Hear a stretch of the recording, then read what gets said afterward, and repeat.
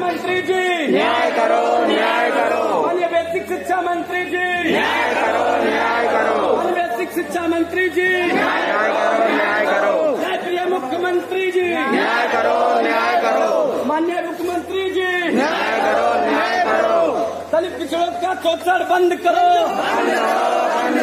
दलित पिछड़ों का शोषण बंद करो। बंद करो बंद करो। हमारी मांगे पूरी हो। पूरी हो आप लोगों से निवेदन है आप लोग अधिकार हमारा वापस दो वापस दो वापस दो अधिकार हमारा वापस दो अधिकार हमारा वापस दो मास्क लगा लीजिए प्रशासन के लोग भी अपने लोग हैं। कहीं न कहीं इनके भाई, बेटे यहाँ पे हैं। और कोई भी शांतिपूर्वक, हम लोग की सिर्फ़ एक मांग है कि माननीय मंत्री जी आए, हम लोग का प्रत्यावेदन ले और जो राष्ट्रीय पिछड़ा वर्ग आयोग और राज्य पिछड़ा वर्ग आयोग ने रिपोर्ट दी है, उस रिपोर्ट को लागू करें। और आप सभी लोगों से इसलिए मैं निवेदन कर रहा हूँ कि हम लोग इस समय रोड पे आ गए हैं। क्योंकि हम लोग को उनहत्तर हज़ार भर्ती में आरक्षण नहीं मिला है हमारी पीड़ा नहीं होती तो इस इस कोविड काल में हम लोग यहाँ नहीं आते। हो गया।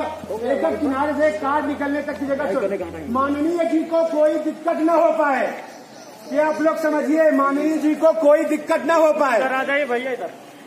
जो आ रहे हैं टोपी ऐसा करना जाना भैया नहीं यार ये तो माननीय जी को कोई दिक्कत नहीं हो पाए। नहीं दिक्कत होगी। उनको सिर्फ़ चुनाव में होनी चाहिए। नहीं नहीं। योगी जी न्याय दो। न्याय दो न्याय दो। आरक्षण का घोटाला नहीं चलेगा। नहीं चलेगा नहीं चलेगा। आरक्षण का घोटाला नहीं चलेगा। नहीं चलेगा नहीं चलेगा। योगी जी हम शिक्षक हैं। शिक्षक है शिक्षक है योगी जी हमारा क्षण पीड़ित शिक्षक है। शिक्षक है शिक्षक है। योगी जी हमारा क्षण पीड़ित शिक्षक है। शिक्षक है शिक्षक है। शिक्षा मंत्री जी न्याय दो।